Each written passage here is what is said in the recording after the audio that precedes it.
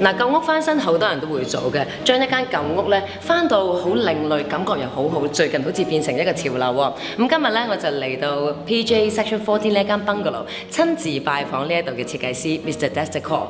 Hi Dexter。Hi, Julie. Good afternoon. Nice meeting you.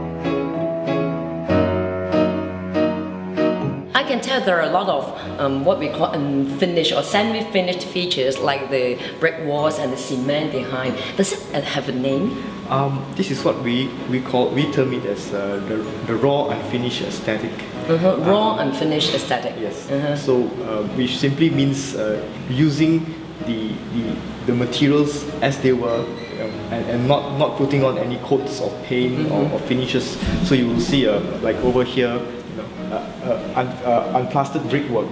You know, so you just see the color of the of the bricks. You know, and then you can see um, the, the, uh, the grey color that's actually the color of, of cement and you see the color of the marble which is a natural material so these are all materials used for what is needed and also for the color that they, they have naturally You came to this place, you saw the environment, and then you uh, think of an idea to it, or this is all the while your idea, you want to implement this idea to this house. How does it work?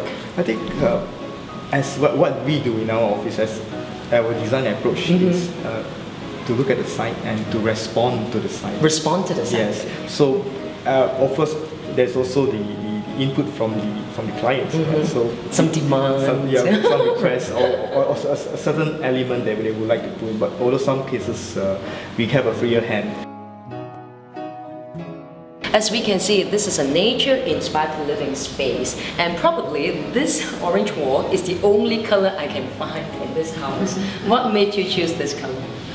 Okay. Um, as you as you can see with the rest of the house, um, the the, whole, the the tones of the are all neutral. So- Back to nature. Yeah, it's, it's, it's very neutral and, and very subdued finish. So what we did was we add this this splash of color on the on this wall and a bright bright orange so that you know, it, it becomes a, a, a very interesting part of the, of the Uh-huh, and- house. and right in the middle. Right in the middle of the living room. So it's like where you know the life and activities are, are being carried out. So And it goes very nice with uh, the lemons. yes, yes.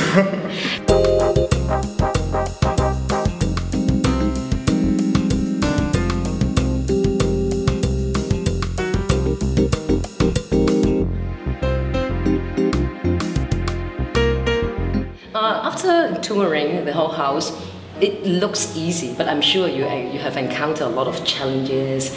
What what is the hardest part to design or and to build this house? I think the hardest part of, of this house was the is trying to maintain the, the level of, of uh, finish that we, we want to achieve, um, especially with the brickwork and the all form concreting, um, because you know the, the construction industry is so used to using plaster and paint over brick, over concrete, over over everything. So in this house where we have pared down the use of, of paint and also um, plastering, you know, so the, the construction worker has to, to you know, lay the bricks properly, correctly. It's like the real face of a woman. Yes. They are not allowed to use any makeup. Correct, no makeup, no makeup. Let's say uh, from one point to ten points among all the works you have done before. Uh, how do you rank this one? Um, we'll give it uh, eight and a half. Wow! Thank you very much. Thank you. Yeah, good, good, good to meet you, Nice and meeting you. thanks for having me here. Thank you.